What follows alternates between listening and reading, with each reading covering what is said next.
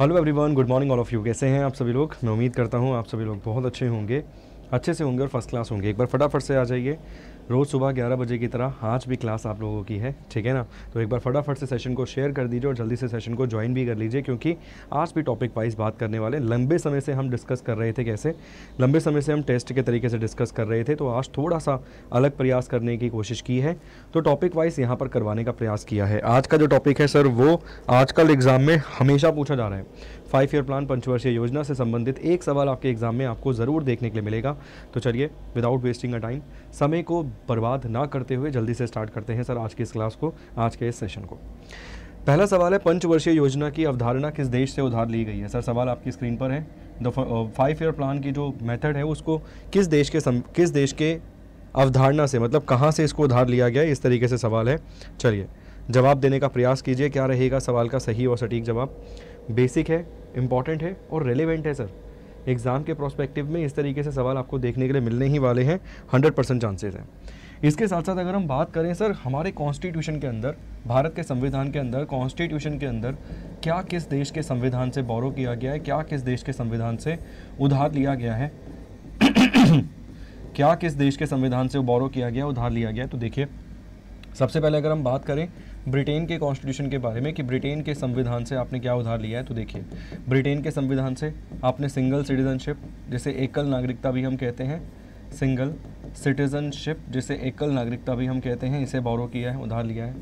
ठीक है? इसके अलावा अगर हम बात करें सर प्रेसिडेंट की पोस्ट राष्ट्रपति की पोस्ट आपने उधार ली है। इसके अलावा अगर हम बात करें प्राइम मिनिस्टर की पोस्ट प्रधानमंत्री की पोस्ट आपने उधार ली है। इसके अलावा अगर हम बात करें sir parliamentary form of government, संसदीय प्रणाली, parliamentary parliamentary form of government या पार्लियामेंट्री गवर्नमेंट, आपने यहीं से उधार लिया यहीं से आपने रिट्स को उधार लिया है। किसको उधार लिया है? रिट्स को आपने यहीं से उधार लिया है। Lower house is more powerful than upper house. Lower house is more powerful than upper house. More powerful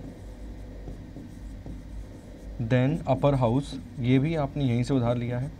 इसके साथ साथ अगर हम बात करें bicameral system bicameral system जो आपको देखने के लिए मिल जाता है, वो भी आपने इसी देश के संविधान से उधार लिया। और भी बहुत सारी चीज़ें हैं जो आपने यहाँ से उधार ली हैं। इसके अलावा यूनाइटेड स्टेट्स ऑफ़ अमेरिका से यूएसए से आपने इम्पीचमेंट के तरीके को उधार लिया है। ठीक है? इम्पीचमेंट महाभियोग के तरीके को। यहीं से आपने उधार लिया है, सर, क्या? रिटर्न कॉन्स्टिट्यूशन लिखित संविधान को भी आपने यहीं से उधार लिया है रिटर्न कॉन्स्टिट्यूशन के तरीके को भी आपने इसी देश के संविधान से उधार लिया है बोरो किया है। इसके साथ साथ अगर हम बात करें सर फंडामेंटल राइट्स मौलिक अधिकार, इसके अलावा अगर हम बात करें प्रियम्बल प्रस्तावना, यहीं से आपने उधार लिया है। इसके अलावा अगर हम बात करें वाइस प्रेसिडेंट की पोस्ट उपराष्ट्रपति की जो पोस्ट मिल जाती है, वो भी आपने यहीं से उधार लिया है। इसके अलावा अटॉर्नी जनरल महान्यायवादी वो भी आपने यहीं से उधार लिया है अटॉर्नी जनरल भी यहीं से आपको देखने के लिए मिल जाएगा। Judicial review judicial judicial review भी आपने यहीं से उधार लिया है। इसके साथ साथ अगर हम बात करें सर, कि जो रिमूवल ऑफ़ जजेस है, वो भी आपने इसी देश के संविधान से रिमूवल ऑफ़ जजेस जो है, वो भी आपने इसी देश के संविधान से कॉन्स्टिट्यूशन से बोरो किया है। और जो सवाल आपके स्क्रीन पर लिखा हुआ है, ये कहाँ से आप लेते हैं? तो रूस, अगर ऑप्शन में रशिया दे रखा है तो रशिया टिक कर देना। ऑप्शन में यूएसएसआर है तो यूएसएसआर टिक कर देना। दोनों दे रखे हैं तो भी यूएसएसआर ही टिक कर देना। यहीं से आपने फंडामेंटल ड्यूटीज़ के कॉन्सेप्ट को भी बोरो किया है। यहीं से आपने फंडामेंटल ड्यूटीज़ के कॉन्सेप्ट को भी बोरो किया है। इस चीज़ को भी याद रखिएगा। बेसिक है, मगर बहुत ही ज़्यादा रेलिवेंट है मतलब बहुत ज़्यादा इंपॉर्टेंट है। आप मान के चलिए कि एग्ज़ाम में डायरेक्टली ये पॉइंट आपको देखने के लिए मिल सकता है। जब भारत के संविधान को बनाया जा रहा था तो कुल मिला के सिक्सटी कंट्रीज़ के कॉन्स्टिट्यूशन को ओपन करके देखा गया था साठ देशों के संविधान से। देखा गया था ओपन जिसमें से दस देशों के कॉन्स्टिट्यूशन से, दस कंट्रीज़ से आपने चीज़ों को बोरो किया है, जिसमें आपको यूएसए ब्रिटेन फ्रांस जर्मनी इसके अलावा बात करें कनाडा जापान साउथ अफ्रीका, इसके अलावा ऑस्ट्रेलिया आपको देखने के लिए मिल जाता है, ठीक है ना? इसके अलावा आपको देखने के लिए मिल जाता है, सर, यहाँ पे फ्रांस आप देख चुके हैं, ठीक? इसके अलावा आपको देखने के लिए मिल जाता है मतलब इस तरीके से देश जो है, आयरलैंड आपको देखने के लिए मिल जाएगा, सर, यहाँ पर, ठीक है? आयरलैंड भी यहाँ पर आपको देखने के लिए मिल जाएगा यूएसएसआर आपको यहाँ पर देखने के लिए मिल जाएगा, ठीक? तो एक, दो, तीन, चार, पाँच, छः, सात, आठ, नौ और दस इस तरीके से ये कंट्रीज़ जो हैं आपको देखने के लिए मिल जाती हैं। तो ऑप्शन नंबर सी सवाल का सही जवाब है बेसिक मगर रेलिवेंट और बहुत सारे कंटेंट को मैंने एक साथ ही उठाकर एक्सप्लेन कर दिया, अगर ध्यान से देखेंगे तो। अगला सवाल है who was the first chairman of planning commission planning commission का पहला चेयरमैन जो है, वो कौन था? चलिए, सोवियत की अगर हम बात करें यूएसएसआर की तो वहाँ पर जोसेफ स्टैनली ने इनिशिएट किया था फ़र्स्ट फाइव ईयर प्लान को 1928 में। ये पॉइंट लिखना है तो ये पॉइंट भी आप लिख सकते हैं। Who was the chairman of planning commission देखिए प्लानिंग कमीशन की अगर हम बात करें तो प्लानिंग कमीशन जो है, उसे कब बनाया गया था? प्लानिंग कमीशन को जो बनाया गया था, सर, जिसे नाम दिया गया है योजना आयोग का। तो प्लानिंग कमीशन को कब बनाया गया था? प्लानिंग कमीशन को बनाया गया था मार्च 1950 के अंदर, मार्च 1950 के अंदर प्लानिंग कमीशन को बनाया गया था। साथ के साथ अगर हम बात करें, सर, इसी प्लानिंग कमीशन के संदर्भ में तो आप लोग जानते ही हैं कि प्लानिंग कमीशन का नाम ही बदल कर क्या किया गया? प्लानिंग कमीशन का नाम बदल के किया गया नीति आयोग। प्लानिंग कमीशन का नाम क्या किया गया? प्लानिंग कमीशन का नाम नीति आयोग किया गया और नीति आयोग की फुल फॉर्म है national institution national institution for transforming India national institution for transforming national institution for transforming India यहाँ पर आपको इसकी फुल फॉर्म जो है ये देखने के लिए मिल जाती है। और ये कब बना था? ये बना था सर एक जनवरी 2015 को 2015 को। इसका चेयरमैन इसका चेयरमैन कौन होता है? तो सर इसका चेयरमैन जो आपको देखने के लिए मिल जाएगा, वो प्रधानमंत्री होता है प्राइम मिनिस्टर होता है, ठीक है? और प्लानिंग कमीशन की बात करें तो प्लानिंग कमीशन का चेयरमैन भी प्रधानमंत्री ही होगा। तो सवाल का सही जवाब है जवाहरलाल नेहरू, पंडित जवाहरलाल नेहरू। अगर आपसे पहले प्लानिंग कमीशन का डेप्यूटी चेयरमैन पूछ लिया जाए, क्या पूछ लिया जाए? डेप्यूटी चेयरमैन कौन था? पहले प्लानिंग कमीशन का तो जवाब देंगे क्या? गुलजारी लाल नंदा। गुलजारी लाल नंदा। ठीक है तो प्लानिंग कमीशन के पहले डेप्यूटी चेयरमैन कौन मिल जाएँगे? प्लानिंग कमीशन के पहले डेप्यूटी चेयरमैन जो आपको मिल जाएँगे, उनका नाम था गुलजारी लाल नंदा। बेसिक मगर रेलिवेंट पॉइंट है एग्ज़ाम के पॉइंट ऑफ़ व्यू से।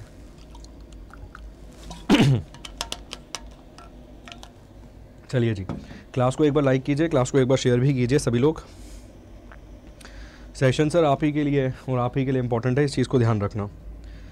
अगला सवाल है in which year planning commission was set up planning commission निम्नलिखित में से कौन से वर्ष में बनाया गया?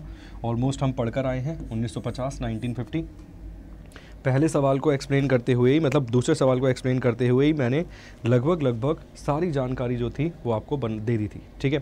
It was under the chairmanship of K C Neogy ठीक है? प्लानिंग कमीशन की अगर हम बात करें तो कब बना? 15 मार्च 1950 अगर आपसे कोई डेट पूछता है तो डेट यहाँ पर आप उसे ये बता सकते हैं, पंद्रह मार्च 1950 1950 नेक्स्ट क्वेश्चन है। Which five year plan had a primary goal to establish India as a self reliant and self generating economy किस पंचवर्षीय योजना का प्राथमिक लक्ष्य भारत को आत्मनिर्भर और स्वयं उत्पादक अर्थव्यवस्था के रूप में स्थापित करना था? मतलब हम खुद ही बनाए, खुद ही। इस तरीके से आत्मनिर्भर बनाने की बात यहाँ पर की जा रही है। वो कौन सा पंचवर्षीय योजना थी? वो कौन सा फाइव ईयर प्लान था? जिसे आप ये कहते हैं, ठीक है? इसके डेप्यूटी चेयरमैन जो आपको मिल जाएँगे वो डॉक्टर गदगिल मिल जाएँगे, ठीक है? इसीलिए इस योजना को गदगिल योजना के नाम से भी, नाम से भी जाना गया है। इसके जो डेप्यूटी चेयरमैन आपको मिल जाएँगे, वो कौन मिल जाएँगे? डॉक्टर गदगिल। इसके जो डेप्यूटी चेयरमैन आपको मिल जाएँगे, वो मिल जाएँगे डॉक्टर गदगिल। इसीलिए इस योजना को डेप्यूटी चेयरमैन इसीलिए इस योजना को क्या नाम दिया गया है? इस योजना को गदगिल योजना का नाम भी दिया गया है। पहली फाइव ईयर योजना, दूसरी, तीसरी या फिर चौथी। तो सवाल का सही जवाब है, सर, तीसरी। कब से लेकर कब तक? 1961 से लेकर 1966 के आसपास तक ये आपको देखने के लिए मिल जाएगी। ठीक है? क्लियर बेसिक मगर बहुत इंपॉर्टेंट और बहुत ही रेलिवेंट पॉइंट है आपके एग्ज़ाम के प्रोस्पेक्टिव से। नेक्स्ट देखिए। During which five year plan did which which five year plan did India opted for mixed economy किस पंचवर्षीय योजना के दौरान भारत ने मिश्रित अर्थव्यवस्था का विकल्प जो है, उसे चुना था। मिक्स्ड इकोनॉमी की बात करते हैं सर यहाँ पे हम, ठीक है? वो कौन सी फाइव ईयर प्लान है जिसके दौरान भारत ने मिक्स्ड मिक्स्ड इकोनॉमी की बात करी? क्या रहेगा सवाल का सही जवाब? सवाल आपकी स्क्रीन पर है, जवाब देने की कोशिश कीजिए। सेकंड, थर्ड, फोर्थ या फिर fifth? Option number A, option number B, C या फिर डी? सर, पहले जब हम तैयारी किया करते थे ना तो ये क्वेश्चन बहुत पूछा जाता था मिक्सड इकोनॉमी वाला, ठीक है ना? ये मिक्सड इकोनॉमी किसका कॉन्सेप्ट है? इसका जवाब भी दीजिए भारत में। ये जो भारत में मिश्रित अर्थव्यवस्था की जो कॉन्सेप्ट आपको देखने के लिए मिलता है, ये किसका कॉन्सेप्ट है? इसका जवाब भी ज़रूर दीजिए सर कमेंट बॉक्स में कमेंट करके। चलिए, फटाफट से। बिना ऑप्शंस विदाउट ऑप्शंस जवाब देने का प्रयास कीजिए। Second five year plan, third five year plan, fourth five year plan या फिर फिफ्थ फाइव ईयर प्लान? क्या रहेगा इस सवाल का सही जवाब?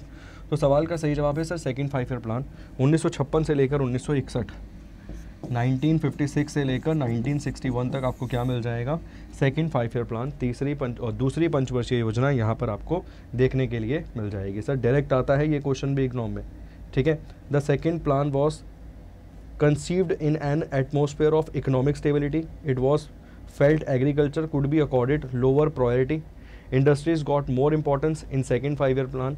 The focus was mainly on heavy industries. इसमें जो main focus था किस पे था heavy industries पर अगला है which of the following five-year plan gave emphasis on removal of poverty from first time in India. निम्नलिखित में से किस पंचवर्षीय योजना के दौरान भारत से गरीबी को हटाने पर ज़ोर दिया गया गरीबी हटाओ का नारा दिया गया ये नहीं बोल रहा हूँ गरीबी को हटाने पर ज़ोर दिया गया ये बोल रहा हूँ चलिए, जवाब देने की कोशिश कीजिए। क्या रहेगा सवाल का सही जवाब? ऑप्शंस आपकी स्क्रीन पर है फोर्थ फिफ्थ सिक्स या फिर सेवन्थ तो हम सभी लोग जानते हैं जो पांचवा पंचवर्षीय योजना आपको देखने के लिए मिल जाएगी, जहाँ पर गरीबी हटाओ की बात की गई और जस्टिस की बात की गई। तो ऑप्शन नंबर बी इस सवाल का सही जवाब है। याद रखिएगा सर बेसिक मगर इंपॉर्टेंट क्वेश्चन है अगला सवाल है the Khadi and village industry commission ठीक है? The Khadi and village industries commission was establish in which five year plan ये क्वेश्चन वेरी इंपॉर्टेंट की कैटेगरी में मानता हूँ सर मैं। ये क्वेश्चन मैं हमेशा वेरी इंपॉर्टेंट की कैटेगरी में मानता हूँ, क्योंकि ये आज भी इंपॉर्टेंट है। चलिए। क्योंकि ये आज भी इंपॉर्टेंट है सर याद रखिएगा। Khadi and village industry commission was establish in which five year plan वो कौन सी पंचवर्षीय योजना थी? वो कौन सा फाइव ईयर प्लान था जिसमें ये आपको देखने के लिए मिल जाएगा? तीसरा, दूसरा, चौथा या फिर पहला। Third five year plan second five year plan fourth five year plan या फिर फिफ्थ फाइव ईयर प्लान? क्या रहेगा? सवाल का सही जवाब। Khadi and village industries commission act 1956 याद रखना। Khadi Khadi and village industries commission act 1956 यहाँ पर याद रखना 1956 क्योंकि ये क्वेश्चन आपके एग्ज़ाम में एज इट इज़ आ सकता है। ठीक है?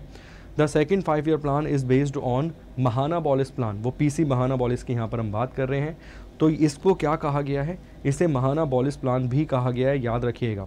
तो ऑप्शन नंबर बी इस सवाल का सही जवाब है। सेकेंड फाइव ईयर प्लान, दूसरी पंचवर्षीय योजना, इस सवाल का सही जवाब है।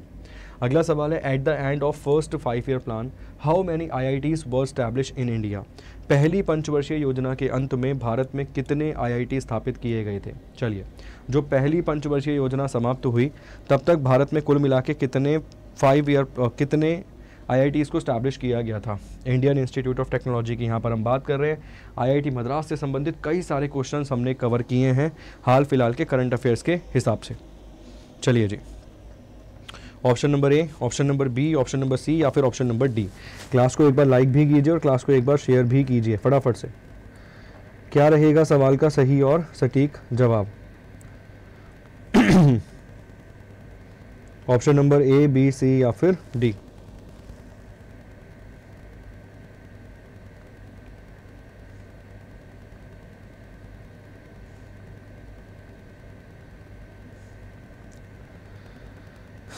ठीक है जी, क्या रहेगा सवाल का सही जवाब? जवाब देने की कोशिश कीजिए।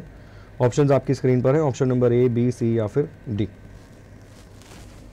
कुल मिला के कितने आई को स्टैब्लिश किया गया? तो सवाल का सही जवाब है यहाँ पे ऑप्शन नंबर डी पाँच आई आई यहाँ पर आपको देखने के लिए मिल जाएँगे। First five year plan how many IITs were establish in India comment करके जल्दी बताइए वो कौन सा पंचवर्षीय योजना था जिनके दौरान वो एक डैम का निर्माण करवाया गया। भाखड़ा नंगल डैम की बात कर रहा हूँ। जब पंडित जवाहरलाल नेहरू ने ये कहा कि आधुनिक भारत के मंदिर जो हैं, वो डैम्स हैं। ये स्टेटमेंट कब दी गई और कौन सी पंचवर्षीय योजना के दौरान ये भाखड़ा नंगल डैम की यहाँ पर हम बात करते हैं, इसका जवाब भी दे दीजिए। अगला सवाल है which of the following five year plans was affected due to drought and two wars वो कौन सा पंचवर्षीय योजना था जो जिसके समय पर दो वॉर लड़े गए और भारत में भीषण अकाल भी पड़ा था, जब लाल बहादुर शास्त्री ने नारा दिया था कि मतलब उन्होंने भारतवासियों से दरखास्त की थी एक वक्त का खाना कम खाने के लिए और अपने ही क्षेत्र में, अपने ही जगहों पर खेती करने की भी वहाँ पर उन्होंने बात की थी। चलिए। प्रथम पंचवर्षीय योजना, तीसरी, चौथी तीसरी, पांचवी या फिर छठी पंचवर्षीय योजना? चलिए जवाब दीजिए, सर। अगर हम लिख देंगे तो ज़्यादा आसान होगा। पहली मिल जाएगी आपको उन्नीस सौ इक्यावन से लेकर छप्पन, दूसरी मिल जाएगी आपको उन्नीस सौ छप्पन से लेकर इकसठ, और तीसरी मिल जाएगी आपको उन्नीस सौ इकसठ से लेकर छियासठ। और यहाँ पर दो बैटल लड़े गए, एक लड़ा गया उन्नीस सौ छब्बीस या 25 अक्टूबर को ये शुरू हुआ था। इसके साथ साथ अगर हम बात करें सेकंड लड़ा गया 1965 1965 में। ये लड़ा गया इंडो या इंडिया चाइना वॉर ठीक है? और ये लड़ा गया सर इंडिया पाकिस्तान वॉर। कौन सा? ये लड़ा गया सर इंडिया पाकिस्तान वॉर, ये आपको देखने के लिए मिल जाएगा। ठीक है? और इसी समय पर भारत में सूखा भी पड़ा। इतना सूखा पड़ा जिसकी आप कल्पना भी नहीं कर सकते मतलब बड़े बुरे हालात उस समय देखने के लिए मिले थे। याद रखिएगा, सवाल का सही जवाब क्या है? तीसरी पंचवर्षीय योजना। ऑप्शन नंबर बी, इस सवाल का सही जवाब है। थर्ड फाइव ईयर प्लान इस क्वेश्चन का सही और सटीक आंसर है। नेक्स्ट क्वेश्चन है final approval of five year plan of India was use to given by Bharat में पंचवर्षीय योजना के अंतिम मंजूरी किसके द्वारा दी जाती है? NITI Aayog president of India national development council या फिर मिनिस्ट्री ऑफ़ फाइनेंस के द्वारा? ये क्वेश्चन एज इट इज़ आ सकता है सर आपके एग्ज़ाम में। निम्नलिखित में से किसके द्वारा ये परमिशन दी जाती है सर चलिए ऑप्शंस आपकी स्क्रीन पर हैं। क्या रहेगा सवाल का सही और सटीक जवाब? ये जो फाइनल परमिशन दी जाती है, वो किसके द्वारा दी जाती है? नेशनल डेवलपमेंट काउंसिल एनडीसी की स्थापना मैंने पहले भी पढ़ाया है। एनडीसी की स्थापना डायरेक्ट पूछ सकता है तो 6 अगस्त उन्नीस 1952 को इसकी स्थापना की गई थी, इसकी स्टैब्लिशमेंट की गई थी। 6 अगस्त उन्नीस सौ ऑफ़ अगस्त 1952 को स्थापना की गई थी किसकी? स्थापना की गई थी नेशनल डेवलपमेंट काउंसिल की। Rashtriya Vikas Parishad is a apex body of decision making and deliberation, ठीक है ना? मतलब एपेक्स बॉडी है, सबसे हाईएस्ट बॉडी है। इसे प्रेजिडाइज किया जाता है मतलब इसकी अध्यक्षता की जाती है किसके द्वारा? हेडेड बाय प्राइम मिनिस्टर याद रखिएगा। हेडेड बाय प्राइम मिनिस्टर इसको हेड किसके द्वारा किया जाता है? तो headed by prime minister basic है, मगर इंपॉर्टेंट है और सर रेलिवेंट भी है एग्ज़ाम के प्रोस्पेक्टिव से, ये भी याद रखिएगा। ऑप्शन नंबर सी इस सवाल का सही जवाब है। डेट ऑफ़ स्टैब्लिशमेंट पूछ सकता है। इसकी अध्यक्षता कौन करता है? इसको हेड कौन करता है? ये भी पूछ सकता है। तो प्रधानमंत्री प्राइम मिनिस्टर अगला सवाल है who use to be the president who use to be the president of national development council पीछे पढ़कर आए हैं सर आप सवाल के बारे में।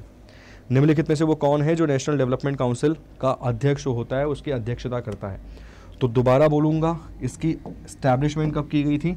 इसकी स्टैब्लिशमेंट की गई थी सर 6 अगस्त उन्नीस सौ को। और इसकी अध्यक्षता कौन करता है? तो इसकी अध्यक्षता करता है भारत का प्रधानमंत्री prime minister option number D सवाल का सही जवाब है। नेक्स्ट क्वेश्चन देखिए। In which plan the government of India introduce green revolution introduce बोल रहा है, ठीक है? निम्नलिखित में से वो कौन सी पंचवर्षीय योजना थी जिसके दौरान भारत सरकार ने इंट्रोड्यूस किया, सर? पंचवर्षीय योजना।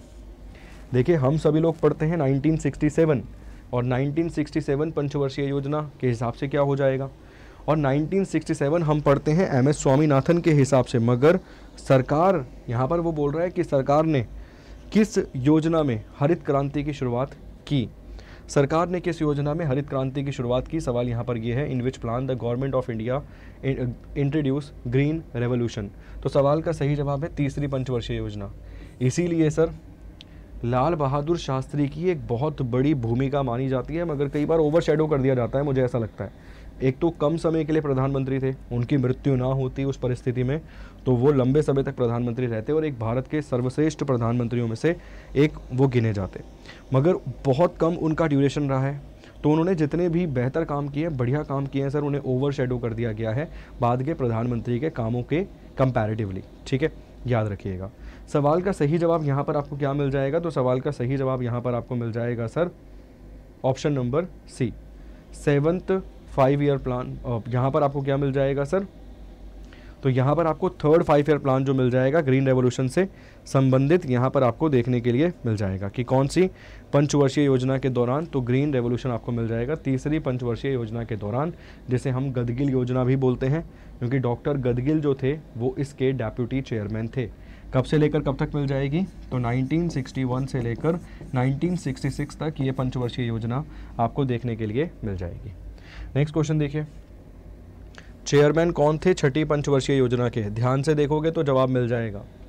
छठी पंचवर्षीय योजना के सिक्स फाइव ईयर प्लान के यहाँ पर आपको चेयरमैन जो हैं, वो कौन देखने के लिए मिल जाएँगे? ऑप्शन है सर, मुरारजी देसाई, राजीव गांधी, सरोजनी नायडू या फिर इंदिरा गांधी। इंदिरा प्रियदर्शनी गांधी। अगर हम बात करें सर रोलिंग प्लान के बारे में, अगर हम बात करें सर रोलिंग प्लान के बारे में तो जल्दी से कमेंट करके ये बता दो, मैंने सुबह 11 वाली क्लास में ही आपको ये पढ़ाया है कि ये जो रोलिंग टर्म है ना रोलिंग प्लान में जो रोलिंग टर्म है, या ये जो रोलिंग प्लान टर्म है, इसे किसके द्वारा क्वाइन किया गया है? टर्म क्वाइन बाय मैंने पढ़ाया है सुबह ग्यारह बजे वाली क्लास में, जब तुम्हारे रोंगटे खड़े हो गए थे, घर बैठे बैठे तो रोलिंग प्लान इंट्रोड्यूस किया गया था 1978 से लेकर 80 तक, लिख सकते हो। वन वन ईयर प्लान था ये। वन वन ईयर प्लान यहाँ पर आपको ये देखने के लिए मिल जाएगा। रोलिंग प्लान जो टर्म है, ये किसके द्वारा क्वाइन की गई थी? सवाल यहाँ पर ये है। अध्यक्ष कौन मिल जाएगा? तो इंदिरा गांधी है भाई ये। क्या है? इंदिरा गांधी। क्या मिल जाएगा सर यहाँ पर? इंदिरा गांधी आपको मिल जाएगा। ठीक।